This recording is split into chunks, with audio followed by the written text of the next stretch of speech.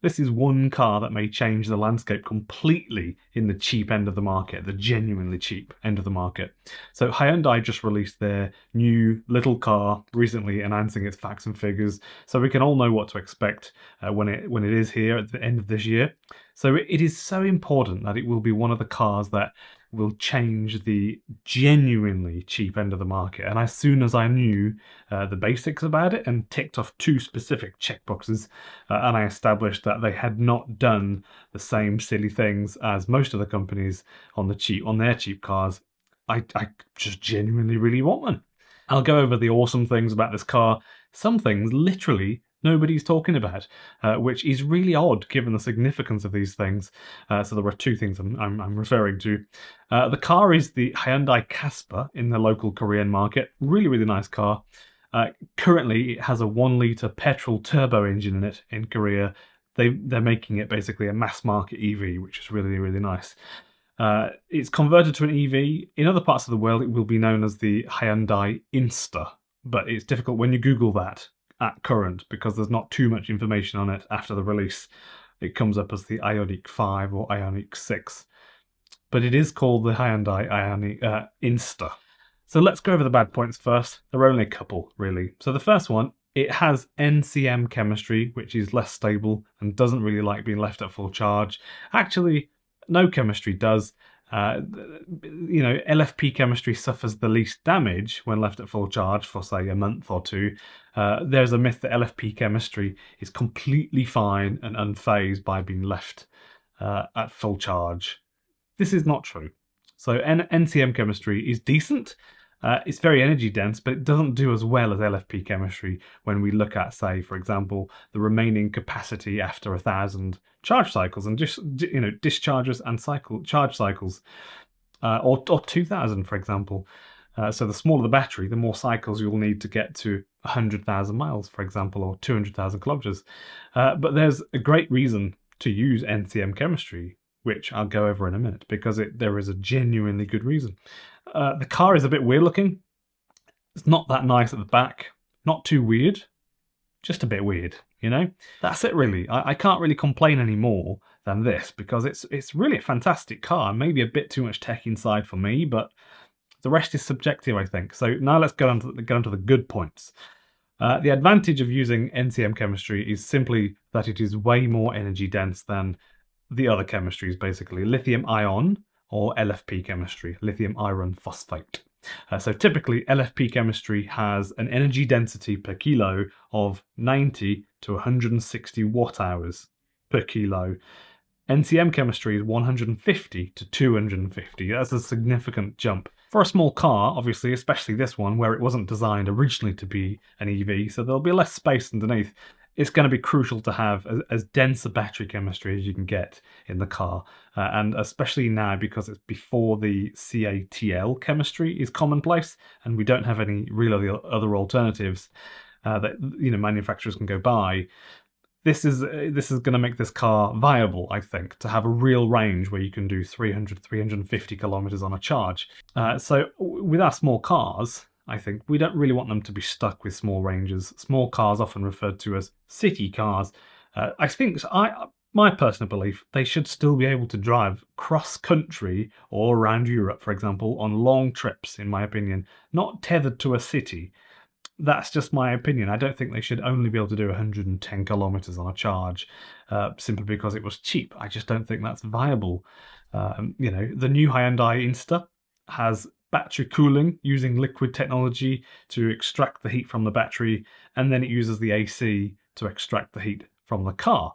Uh, but also, it also heats it up in winter, which is really, really good. So this could be a really good car for Scandinavia, maybe because the battery is quite uh, a reasonable size, so it should be quite good, even if you lose a bit of capacity in winter.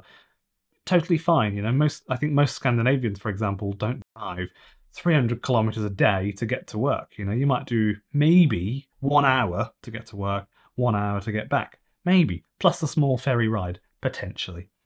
So this is amazing because uh, so many cars have been neglecting this over the past few years in the cheap end of the market. To have battery cooling on them is, is super important. And batteries of this size and value need to be kept from being too warm so they don't lose their capacity prematurely. Uh, it's a massive deal that companies like Dacia and Nis- Nissan with the Nissan Leaf, really, really, really nice car, they neglected this for years. It's, it's really sad, I think. This is not so much my opinion on small batteries, you know, like e-bikes, things like that, but on a, on a car where a, an EV is considered a large battery on wheels, 110%, I think they need to have full thermal uh, management on them. Uh, so the back seats fold totally flat as well. This is my other thing. I, I don't think any of you are going to be interested in this, but it is the it is the most practical thing. It is brilliant. Um, I've had a couple of Honda Jazzes, for example, which uh, fold completely flat. And if you're driving, say, for example, through Europe and you find yourself in the middle of Germany and you're a bit tired, you can have a nice nap. You can have a nice, genuinely nice nap as if you have a bed. It's really, really nice. And it's a little hatchback simply because they've not done, for example, what BYD have done with the Seagull and, uh, and they've made it really flat in the back. It's just the most underrated thing, I think, uh, when manufacturers do this.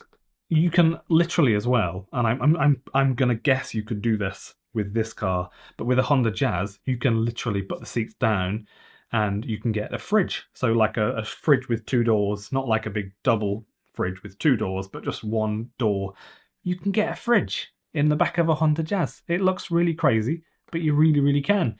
And so I think that is just a really valuable thing. And uh, when I noticed that this Hyundai has flat seats on the back when they fold completely flat, and then it also has battery cooling on it and a proper range, I'm sold honestly. If this is like 20,000 euro or 22 or 23, I will almost certainly be going to go buy one if if it's nice in real life, and I'm sure it is. I have a lot of confidence that it will be.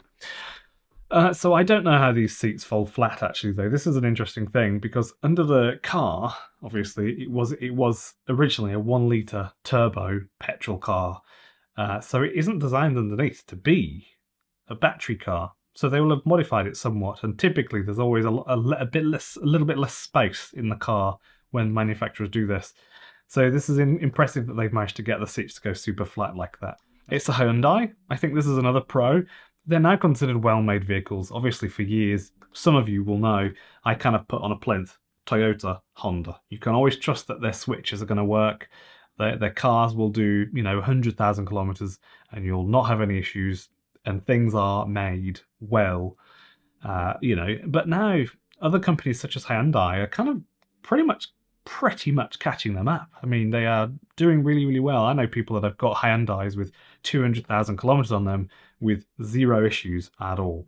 You know, that's pretty impressive.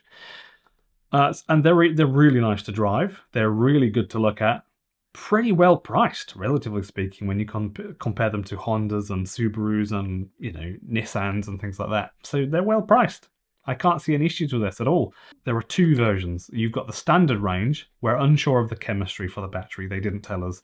Uh, this one has a motor with 71 kilowatts and 147 uh, newton meters of torque, and the battery is 42 kilowatt hour and then you've got the big one, which is the one I would get.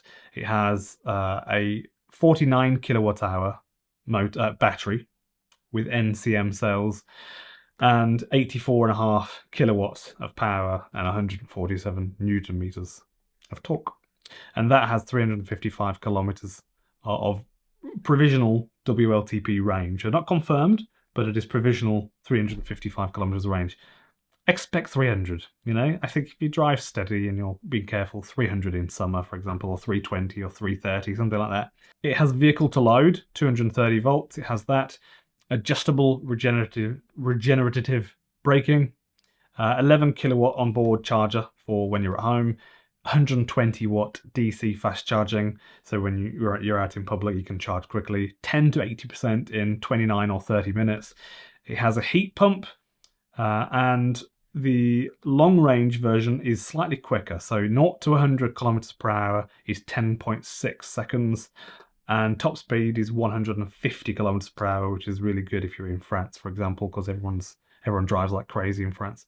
When I was in France recently, people were going 160, 170, 150 past me, and I was going 130. So that you know they're pretty fast, I think, in France. A little slower for the short range version, and a little bit less power, but it's it's yeah not very much at all. So I would say that the good points definitely outweigh the bad points. The two main things that I want to see being checked off here, they are actually checked off, which is just super cool. And it's not you know 38,000 euro. It's like 20, 22, 23,000 euro, that sort of thing. Uh, and then you've got whatever subsidies you can get. Is it actually cheap? I think it is actually a cheap car, isn't it? Not relative to a Tesla, but it's just a cheap car. Uh, and does the battery have full, full cooling on it? Yes, it does, which is brilliant, especially if you live in a place like Greece or Italy or the south of France. I think a lot of people can see that the next 12 to 24 months are going to see uh, this whole new emergence of a market that we've never seen before. The market is going to change to a very different place uh, because of cars like this. That's I think it's the most exciting thing. This is now like where my channel gets to just enjoy doing what it does. I, I talk about all sorts of cars, Tesla Model 3s, Model Ys, I don't know, BYD Atto 3s and things like that. But you know, I've got this passion for small, cheap cars that ordinary people can buy and I'm excited to to uh, to show you that when they come in, in the next year or two. So that you've also got the Leap Motor T03, the BYD Seagull coming to Europe, and the Tesla Model 2, which will which will be released all in the next 24 months. So uh, yeah, that's really nice. I just wanted to thank you all as well for watching my videos. Uh, I've been getting more views, subscribers, comments lately, and I just wanted to let you know that I appreciate it. I appreciate you giving even just a minute of your time. It's really generous, and uh, you know, thank you.